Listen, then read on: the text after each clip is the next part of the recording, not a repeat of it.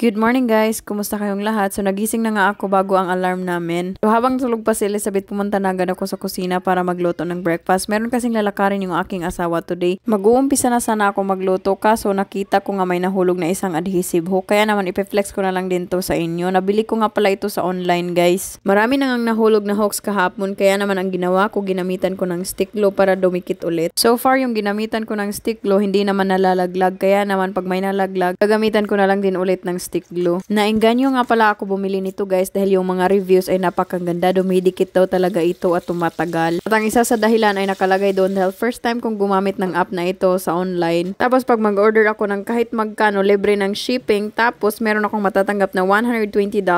So ako naman dali-dali akong nag-order. Paano ba naman $120 tapos i-spend ko lang is $7 or $5 yata yon Siyempre go na talaga ako diretso.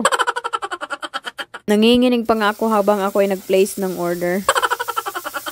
After ko nga ma-place yung order, kinalikot ko yung app dahil first time ko nga gumamit nito. Kaya naman gusto kong malaman kung anong nandito at anong mga offers na meron sila. At nakita ko nga sa notification na meron na daw akong $120.